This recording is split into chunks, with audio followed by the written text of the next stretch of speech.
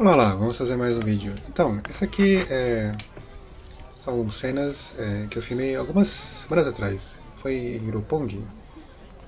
E esse é do... Na verdade são cenas do vídeo anterior, né? Que o vídeo anterior ficou com mais de 10 minutos de duração, então... Estou colocando aqui num outro vídeo separado. Aqui é... lado de... de trás, é, Roppongi, Midori Town. E no fundo dá pra ver né, a torre de, torre de Tóquio.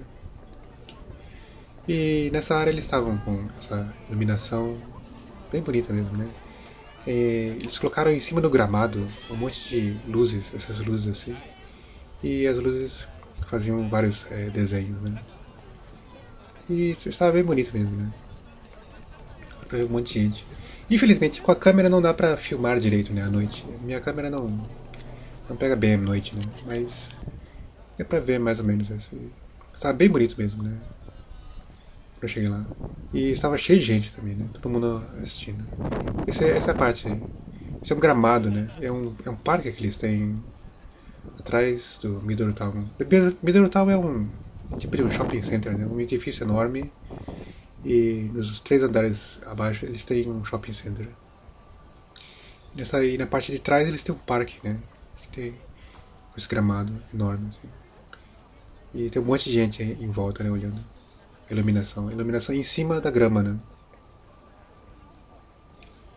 Ah, que mais, que mais. Esse eu tirei, esse vídeo eu tirei quase uma semana, um mês atrás. Já faz um tempo já, né?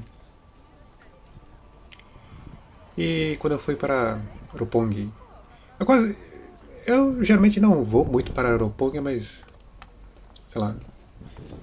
Em Roppongi agora nós temos esse Middle Town, e tem o Roppongi Heroes. Aqui é Roppongi Heroes. E aqui também é muito bonito, né? E eu sempre acho que aqui tem mais gente do que Middle Town, né?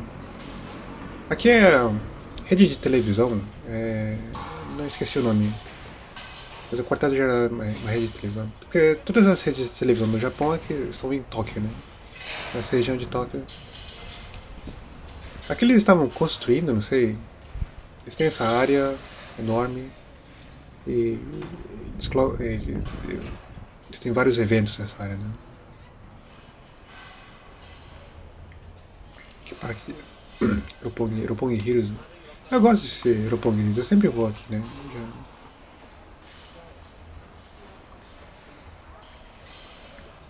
O edifício é bem enorme, né? A área de Roppongi é...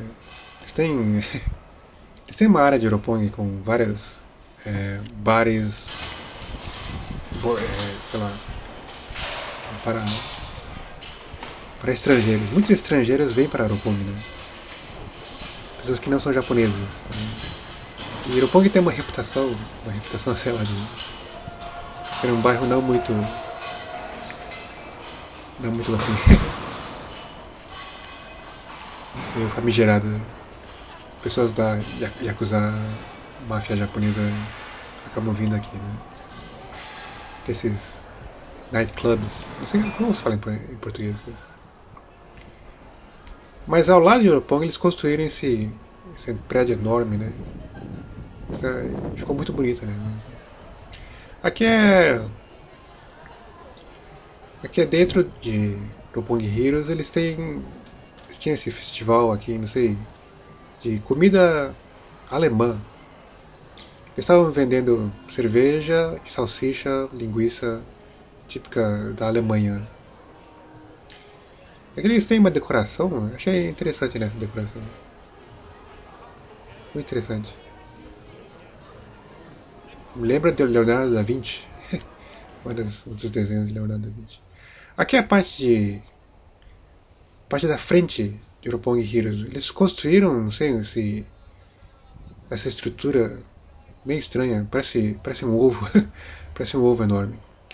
Aliás, aqui, na parte, não dá pra ver no vídeo, mas eles têm uma estátua de uma aranha enorme aqui. Acho que essa foi a ideia, acho que eles construíram esse, esse treco aí, essa coisa, não sei se... Mas havia bastante gente aqui, todo mundo querendo tirar foto, né? Tem o formato de um ovo, sei lá. Todo mundo querendo tirar foto. Aqui é a entrada do Roppongi Hills, a parte da frente do Roppongi Hills. Né? Esse prédio enorme. É mais ou menos interessante, né? Estava bem frio, mas também estava cheio de gente esse dia. Todo mundo tirando fotos aqui.